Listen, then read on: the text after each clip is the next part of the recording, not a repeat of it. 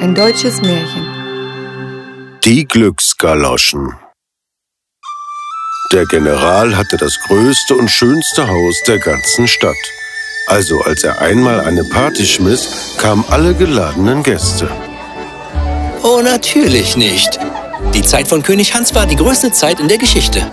Damals lebten alle ein friedliches und einfaches Leben. Die Menschen von heute interessieren sich nicht einmal mehr füreinander. Oh, da bin ich anderer Meinung. Die Umgebung wird sich ständig verändern und wachsen. Und die Menschen kümmern sich heute darum. Schau, so viele Gäste sind zur Party gekommen. Sie kümmern sich um mich.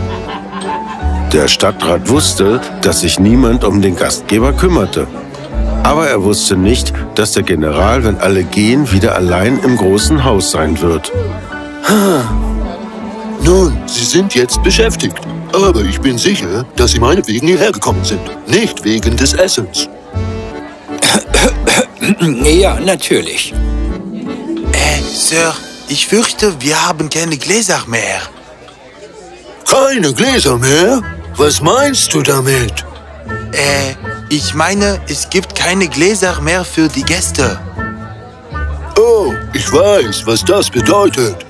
Äh, aber Sie haben gerade gesagt, äh, Ruhe jetzt!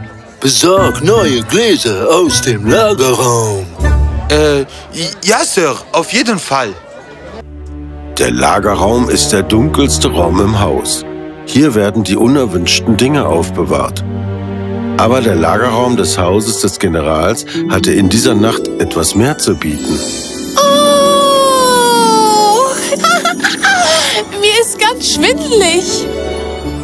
Ja, wer hätte gedacht, dass das Fliegen im Kreis so etwas bewirkt?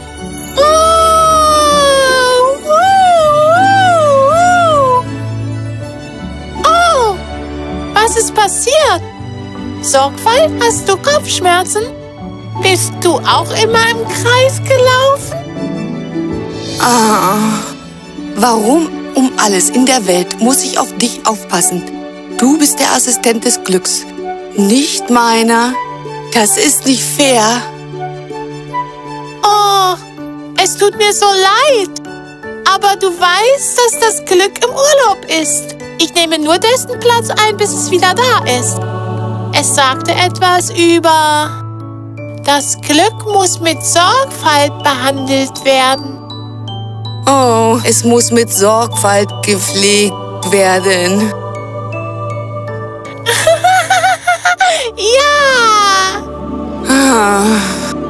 Hm.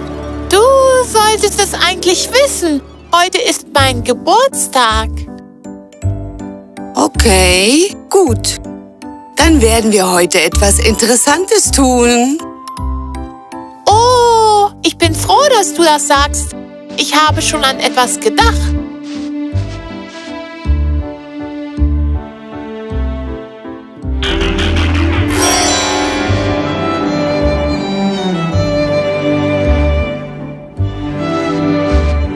Warte, was ist das denn?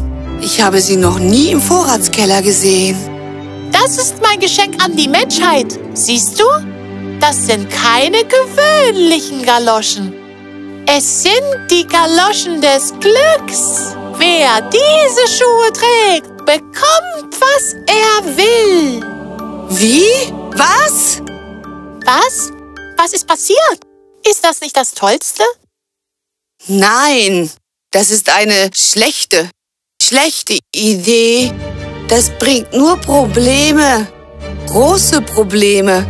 Die Menschen wissen nicht, was sie wollen. Sie sind nie vorsichtig mit ihren Wünschen. Oh, du denkst zu viel nach. Das wird eine gute Sache sein. Du wirst sehen. Oh, das werde ich. Und so wirst du es auch tun. Oben im Saal begannen die Gäste zu gehen.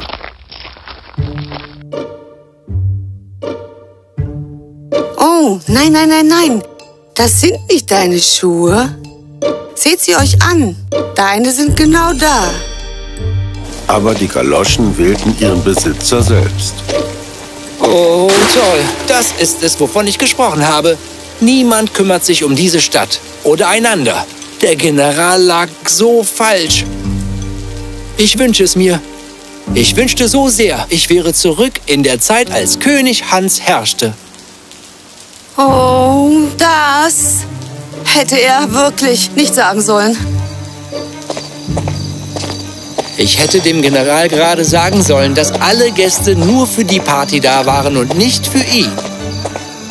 Ah, das ist nicht fair. Wie konnten sie eine so große Pfütze direkt an der Straße hinterlassen? Jetzt muss ich mir die Schuhe putzen. Ah, wo ist der Bürgersteig hin? War ich falsch abgebogen? Warte, wann hat es aufgehört zu regnen? Pass auf, wo du hinläufst, Junge. Du, pass auf, Junge. Du darfst nicht mitten auf einer Straße reiten. Junge? Junge? Wie alt war dieser Mann? Und was hatte er an? Er muss zu einer Maskerade gehen, wo sich jeder wie jemand aus der alten Zeit verkleidet. Wo ist dieser Kostümball, zu dem ich nicht eingeladen wurde? Was machst du hier ohne Rüstung? Äh, das ist sehr großzügig von dir, aber ich denke nicht, dass ich uneingeladen zum Maskenball gehen sollte. Ein Masken was?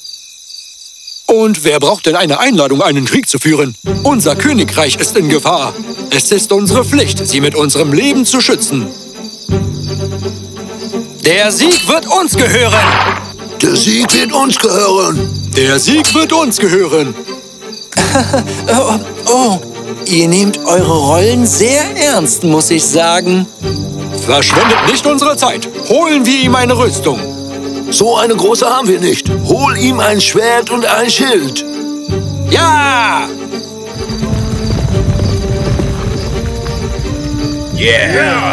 Hör zu, das ist ein Fehler. Ich bin kein Soldat. Ich denke, Angriff!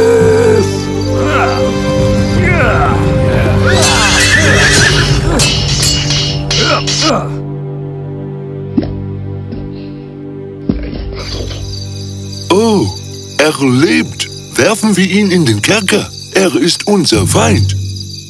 nicht in den Kerker. Nein, nein! Oh, ich bin eingeschlafen. Das ist eine Schande. Was haben Sie mir ins Essen getan? Oh, ich irrte mich. Diese Zeiten sind besser als die von König Hans. Niemand mag Krieg. Zumindest kann ich jetzt wieder zurückgehen und friedlich auf meinem bequemen Bett schlafen.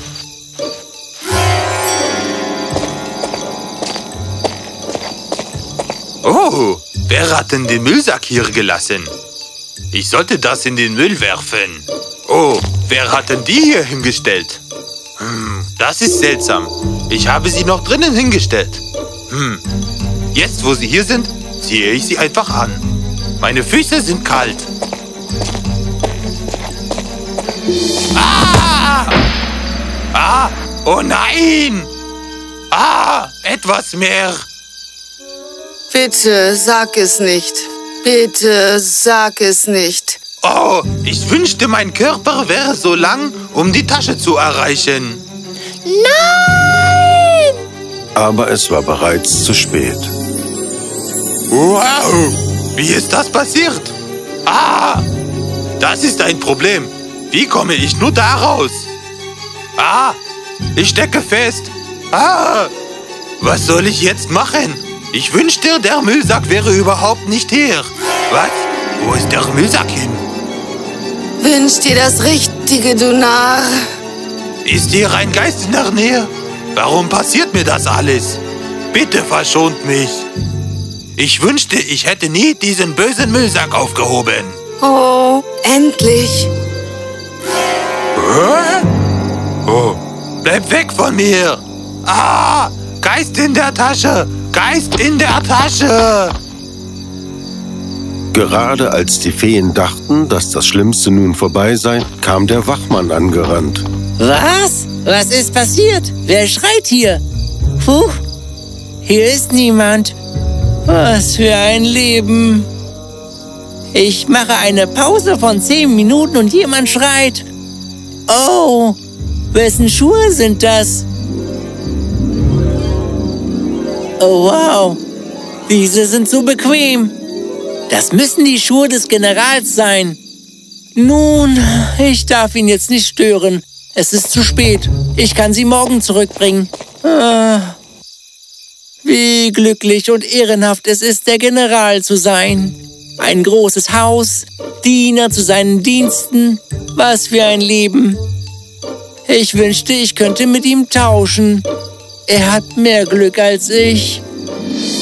Ah, was für ein tolles Leben. Ich habe jetzt ein großes Haus. Die Leute respektieren mich. Ich kann tun, was ich will. Wann immer ich will. La la la la la. Ich liebe mein Leben. Der Wachmann war jetzt eindeutig der glücklichste Mann. Aber wie lange wird der Reichtum einen zufriedenstellen? Hm, oh, mir ist so langweilig und so einsam. Was nützt dieses große Haus, wenn ich für den Rest meines Lebens allein leben werde? Oh, ich wünschte, ich hätte etwas Gesellschaft. Dieser Wachmann ist viel glücklicher als ich. Er hat eine Familie, zu der er zurückkehren kann. Ich wünschte, ich könnte mit ihm tauschen. Er hat viel mehr Glück als ich. Oh, was für ein seltsamer Traum. Ah, ich bin dankbar für das Leben, das ich habe. In einer Stunde bin ich wieder bei meiner Frau und meinen Kindern. Ich habe wirklich mehr Glück als der General. Oh, eine Sternschnuppe. Es wird so schön sein, sie aus nächster Nähe zu sehen. Hm, ich wünschte, ich könnte bis zum Mond hinauffliegen. Wie würde sich das wohl anfühlen? Nein! Oh, oh, oh. Was ist passiert hier? Bin ich gestorben? Nein, wie ist das passiert? Hilfe! Aber wer würde ihm helfen? Der arme Wachmann flog hoch und weiter und weiter. Er hatte sich etwas gewünscht, was er nie wollte. Aber die Glücksgaloschen kümmerten sich nicht darum. Sie erfüllen jeden Wunsch. Doch jetzt war er auf dem Mond. Er verstand nicht, was passiert war. Er schlug sich selbst, um aus dem Traum aufzuwachen. Die Erde hing über seinem Kopf wie ein riesiger Ball. Der Wachmann war verängstigt und besorgt. Würde er nie wieder zu seiner Familie zurückkehren? Er lag dort auf dem Mond und weinte. Aber was ist mit dem Wachmann auf der Erde passiert? Hallo? Kannst du mir sagen, wie spät es ist? Oh, was ist mit Ihnen passiert? Der Fremde rief sofort den General und sie brachten den Wachmann in das nahegelegene Krankenhaus. Dort, auf dem Bett liegend, waren die Ärzte völlig verwirrt. Wie kann so ein gesunder Mann plötzlich aufhören zu reagieren? Hm, wir werden noch ein paar weitere Tests an ihm durchführen müssen. Warum trägt er diese Schuhe auf dem Krankenhausbett? Schwester, bitte zieh sie aus. Oh, oh. Hier, lassen Sie mich Ihnen helfen.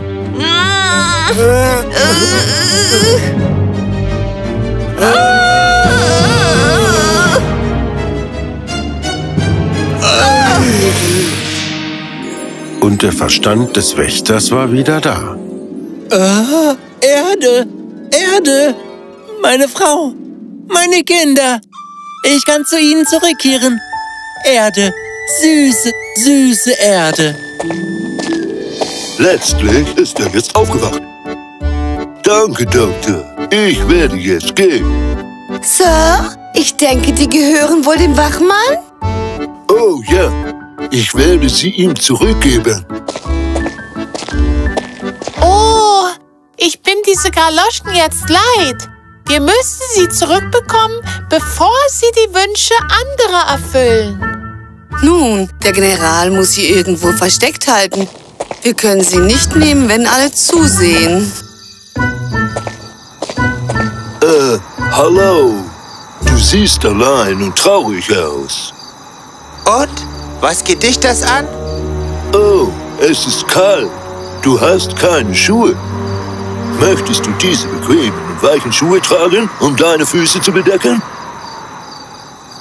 Nun, wenn meine Wünsche erfüllt würden, weißt du, was ich mir wünschen würde? Ich würde mir ein Haus zum Wohnen und jemanden wünschen, der sich um mich kümmert. Du weißt nicht, wie es ist, ganz allein auf der Straße zu leben. So wie du gekleidet bist, lebst du wahrscheinlich in einem großen Haus mit einer liebevollen Familie. Äh, ich wohne in einem großen Haus, aber ganz allein. Ich verstehe deine Probleme, mein Junge. Möchtest du bei mir wohnen? Ich habe keinen Sohn und mein Haus könnte einen starken kleinen Jungen gebrauchen, der seine Meinung sagen kann. Was? Wirklich? ja, natürlich. Begleite mich. Kann ich diese Schuhe tragen? Sie sind zu groß für dich. Ich kaufe dir neue. Und ich werde auch neue Kleider für dich kaufen. Und Spielzeug und Süßigkeiten. Magst du Süßigkeiten? Wow, ich liebe Süßigkeiten. Oh, siehst du? Meine Galoschen brachten Glück. Stimmt, tatsächlich. Aber nur einmal, als niemand sie trug. Sei bloß nicht so stolz auf dich. Du hast einen Mann auf den Mond geschickt.